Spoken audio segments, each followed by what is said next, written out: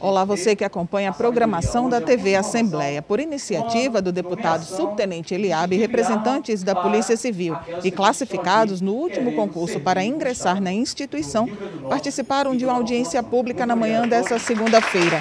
E o tema das discussões foi a definição do calendário para a convocação dos classificados do concurso da Polícia Civil do Rio Grande do Norte, diante da falta de um efetivo suficiente para a Polícia Civil no Estado.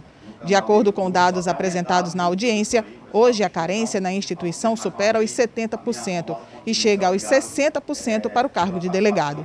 No último concurso, 2 mil candidatos foram classificados, mas apenas 900 podem ser nomeados. Esse número, pelo que foi exposto nas discussões, não resolve o problema na instituição, mas já ajuda a diminuir a sobrecarga dos policiais que estão na ativa e deve melhorar também o atendimento à população e o trabalho investigativo. De acordo com o Sindicato dos Agentes, por exemplo, o ideal é que pelo menos 600 novos policiais fossem nomeados de imediato, mas pelo que foi exposto, apenas 300 classificados devem ser convocados para os cargos de agentes, escrivães e delegados. A Assembleia Legislativa do RN realizou uma audiência pública sob o comando da deputada estadual Cristiane Dantas, presidente da Frente Parlamentar da Mulher, para marcar o encerramento da 20 Semana Nacional da Justiça pela Paz em Casa. A Semana Nacional foi idealizada pelo Conselho Nacional de Justiça em 2015 com o objetivo de popularizar a Lei Maria da Penha. O debate foi realizado em parceria com a Coordenadoria Estadual da Mulher em Situação de Violência Doméstica e do Tribunal de Justiça do RN. Durante o ano, o TJRN realiza três edições em datas comemorativas com o mesmo objetivo: sensibilizar a sociedade quanto à importância de se combater a violência doméstica e abraçar essa causa tão importante. O evento contou com a presença de representantes do Poder Judiciário e Executivo envolvidos nesse tema e representantes da sociedade civil. O Brasil registrou 655 mil casos de Covid-19 em 24 horas. No mesmo período, houve 311 mortes em decorrência da doença. Com isso, a média móvel de mortes nos últimos sete dias é de 419. Significa uma queda de 38% em relação a duas semanas. É sempre nesse período de 14 dias que se faz o cálculo. O Rio Grande do Norte se encontra na 18ª posição no número total de casos de Covid, isso considerando, claro, os estados brasileiros e o Distrito Federal. Em 24 horas, o estado do Rio Grande do Norte registrou três mortes e tem hoje 18% dos leitos críticos da rede pública de saúde ocupados. Os leitos clínicos, aqueles que não são de UTI, ocupados por Covid-19, correspondem a 8%.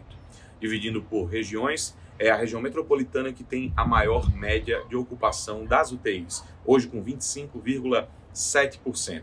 Os números são baixos, continuam em queda, mas a gente reforça sempre: a pandemia não acabou. Continue se cuidando, tome sua vacina. A vacinação antirrábica para cães e gatos que tenham a partir dos três meses de idade segue até esta quinta-feira na modalidade casa a casa. Esta semana, os profissionais do Centro de Zoonoses, órgão ligado à Secretaria Municipal de Saúde, estarão circulando pelos bairros Nova Descoberta, Felipe Camarão, Petrópolis e Tirol. Esses profissionais deverão se apresentar devidamente fardados e munidos de equipamentos de proteção como luvas, máscaras, álcool e aventais para evitar a propagação da Covid-19 e das demais síndromes gripais.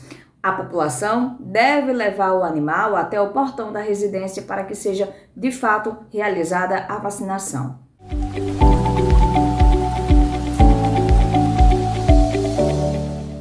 Segue nublado a parcialmente nublado com previsão de chuva para todas as regiões nessa terça-feira. Em Natal, onde as pancadas podem cair a qualquer hora, máxima de 29 graus e mínima de 24. Jandaíra terá máxima de 34 e mínima de 22 graus. É a mesma temperatura prevista para São Vicente. E em Major Sales, calorão de 36 graus com mínima de 21 na madrugada. O fim de semana teve chuva boa em todo o estado.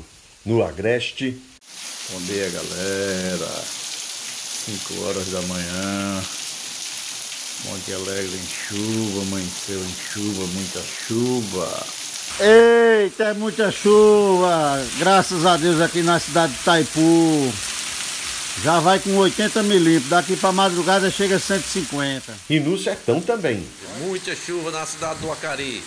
Vou entrar que o negócio tá molhando até minha área, que nunca molha. Ela tá vindo aqui do lado do Jardim do Siridó, daquele mundo que tá vindo dali. Foi puxado para os pluviômetros. 152 milímetros aqui na Fazenda Rolinha, município de Serra Negra do Norte. A chuvarada pegou muita gente de surpresa, mas não estragou a festa. Eu disse que não chovia hoje, mas tá chovendo. Chuva boa! No rastro das chuvas, a cheia dos pequenos açudes. E a chuva chegou de novo. Eita, coisa boa! Aí, aí que água. Eita,